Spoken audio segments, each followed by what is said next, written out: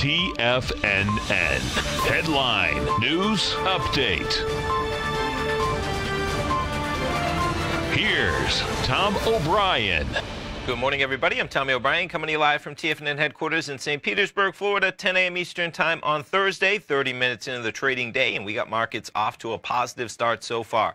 S&P's right now positive by 16 points, trading at 27.96. You get the Nasdaq up 42 points, trading at 75.89, and the Dow up 68 points, trading at 25,193.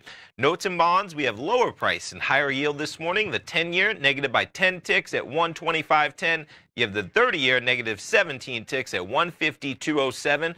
We've got gold right now basically flat, 12.80 and 20 cents. Oil up 10 pennies at 58.93, and the dollar index up 115 ticks at 98.145. Bitcoin as well holding steady up 66 bucks 87.12 in the price of Bitcoin. We'll start it off. Let's jump over to the futures markets. We'll start it off with the Dow.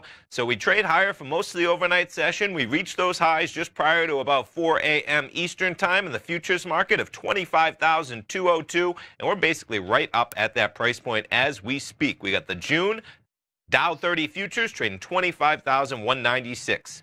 Nasdaq 100 7263 making session highs as we speak.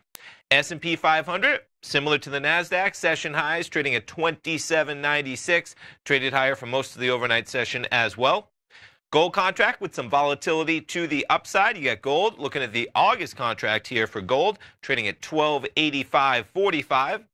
There's your crude contract. We actually got up to 59. Where's that high? 59.67. Gunning for that $60 price point. But from there, we're back under $59.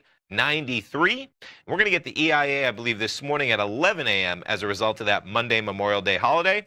And Euro US dollar trading 111.25. In terms of what you have happening fundamentally this morning, First quarter GDP 3.1%, slightly better than what Wall Street had been expecting in terms of about 3%.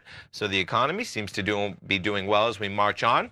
Tesla getting a downgrade from Barclays, talking about $150. That not really hitting the stock this morning as Tesla is basically almost flat. You have Dollar General out with their earnings. Strong same store sales up about 5 6%. We'll jump over to that chart in a moment. And you got the Boeing CEO finally coming out and personally apologizing. Not sure if that really is too redeeming at this stage in the game, but nonetheless, uh, we will go to Dollar General, up 6.1%. Quite a number on their earnings. Stay tuned, folks. Come back at 10 o'clock with Tom. Live programming all day at TFNN. Have a great Thursday.